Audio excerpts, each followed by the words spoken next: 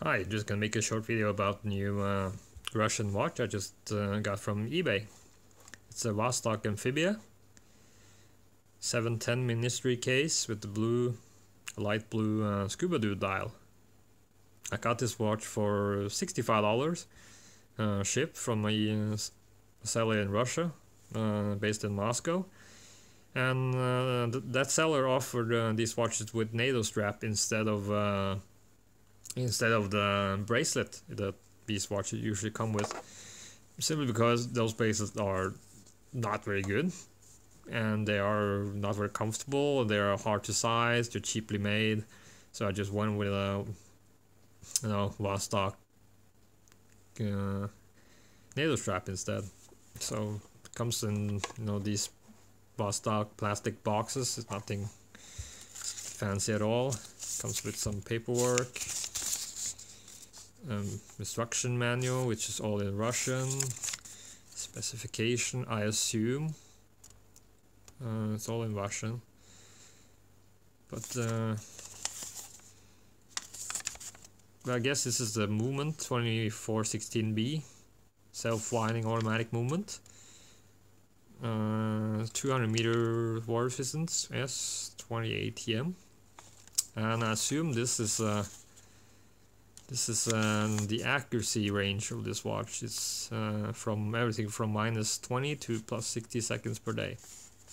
So the accuracy range is quite wide. But again, this is a cheap mechanical watch.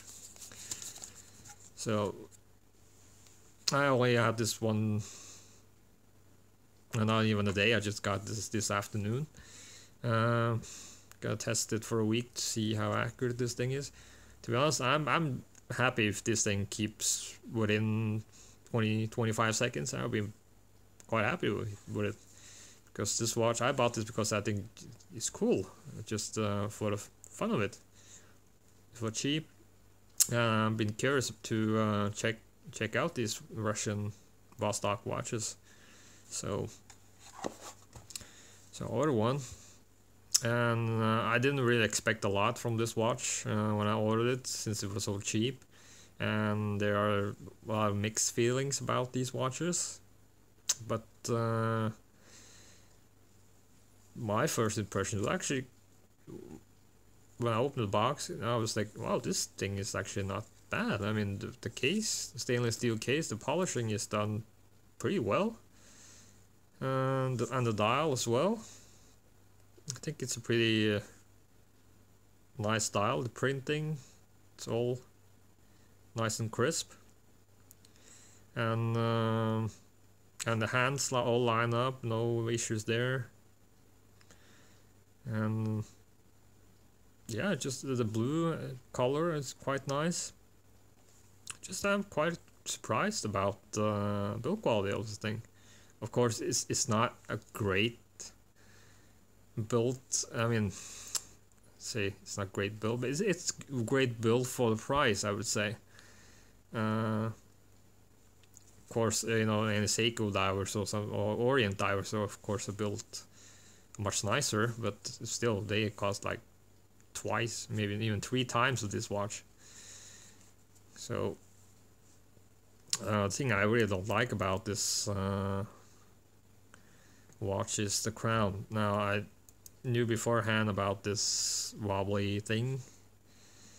Uh, it's supposed to be a part of the design, so it's completely normal. It's to protect the uh, the stem from breaking when you, if you accidentally hit the crown.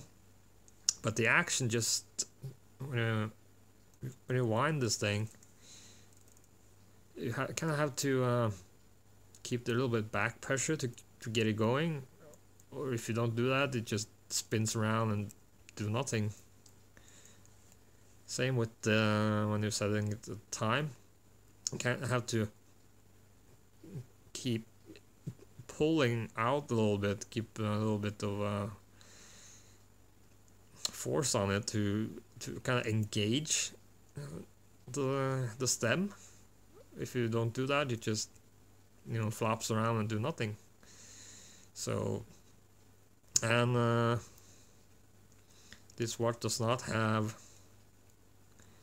quick quick date change. So you have to uh, you can do it do it this way, you know, the really slow way, or you can do do it somewhat faster by going past 12 o'clock, reverse, back to uh, 8 o'clock, and back to 12 again to uh, change the day. Uh, as you can see when I turn is look at the second hand, I mean this, uh, this movement this I don't know, it's really uh, something on its own. Well, again, $65. Can I really complain? And also the bezel turns both ways. And the action is kind of grindy, it's not very smooth. It doesn't click uh, either. Uh, I have a Seiko Flightmaster which uh, has a non-clicking uh, slide rule bezel and that is smooth as silk on that on that Seiko watch but this one is just uh. but uh, but you can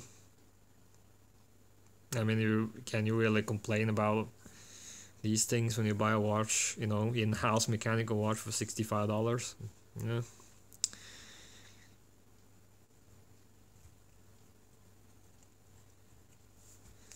The case diameter on this thing is uh, 41 and a half millimeters.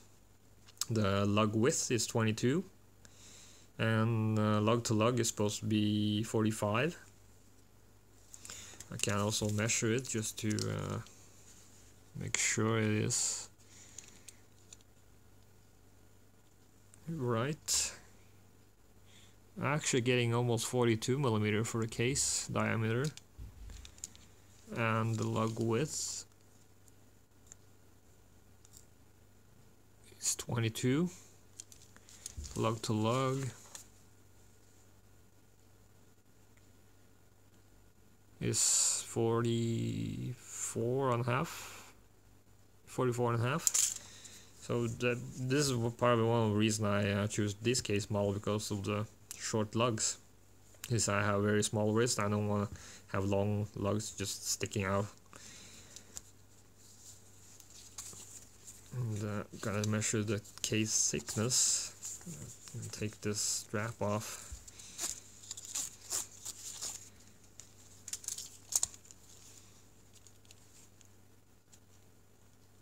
Case thickness is 15 millimeters, quite quite thick, but that's mostly because of the this really thick acrylic crystal uh, the crystal is uh, acrylic.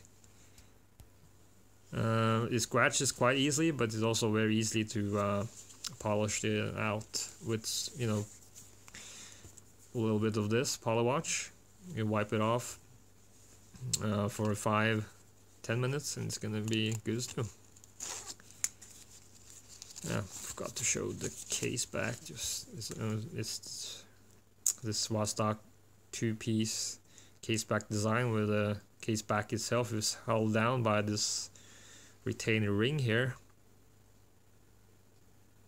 Uh, there's also a reason why they choose this uh, kind of design is because uh, the water pressure actually uh, help uh, the watch to, to get a better seal because the deeper you go the more pressure is on the case back here is compresses and creates a tighter seal so it's a little bit different from, uh, well, pretty much all other waterproof, uh, water resistant watches out there on the market.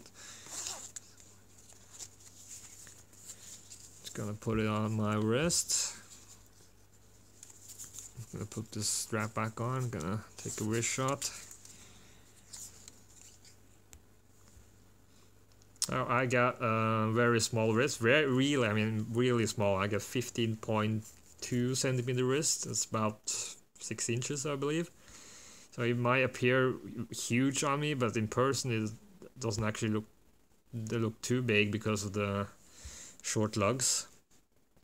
So uh, you know, I really like this watch.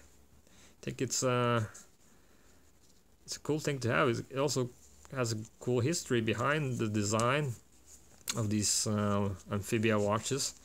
And I'm not gonna ramble off the whole story behind these watches. There are many great articles online about the design and the engineering behind these watches. It is quite interesting. So if you're really interested in that, you can find uh, those articles online. Also, the second hand is because it's it's a very low beat movement. I think it beats at uh, 19,800 beats per hour, so it's even slower than most Seiko watches, which runs at 21,600. So it's not super smooth on second hand, but it's not too bad. Again, for $65, I think uh, it's a cool watch. If I'm... Would I recommend this one? Well, if you want something really unique and uh, very with a very special quirky design, yeah, not many. You're probably not gonna see many people wearing Vostok watches. So, but if you're gonna buy your first decent, you know, mechanical watch, I probably go uh, with the Seiko 5. Or if you can afford it, you I'd probably go with an Orient Mako, Orient Ray for around 150. Uh, if you can spend $15 more, get an SKX or even a Seiko Monster. Those are much better watches than this one, but again, they cost a lot more. So, but uh, but if you want something really unique with a cool history behind it, and it's completely in house, I mean, in house watch for sixty five dollars, it's pretty cool. So here it is, my Vostok Amphibia. Thanks for watching.